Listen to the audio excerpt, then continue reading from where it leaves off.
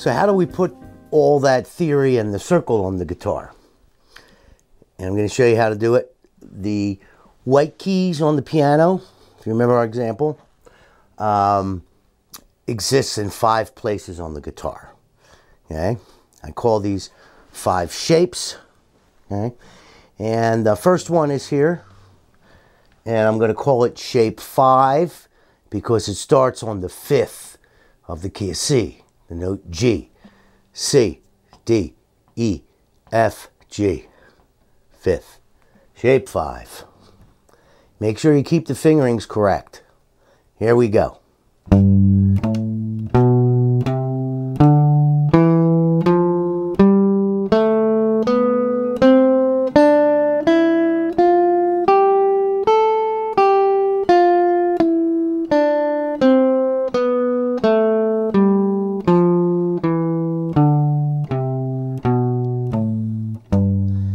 Next place is here, shape six, because it starts on the sixth of the key, the note A.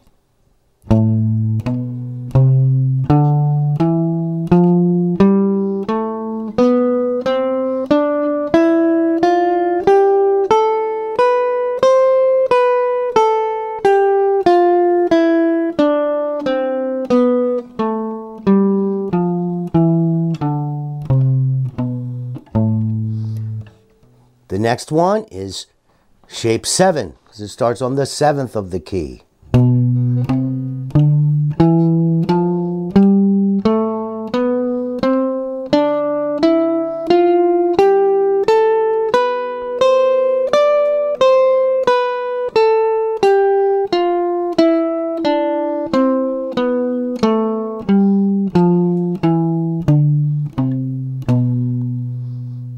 The next is shape two. It starts on the second of the key, the note D.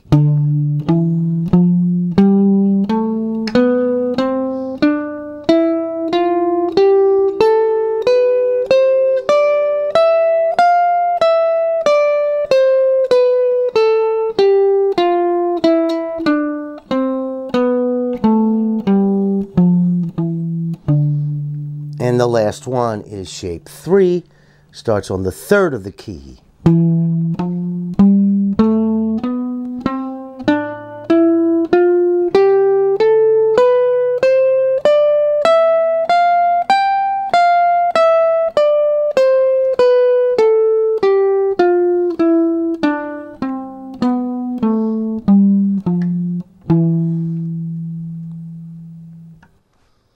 That's where those shapes exist on the guitar.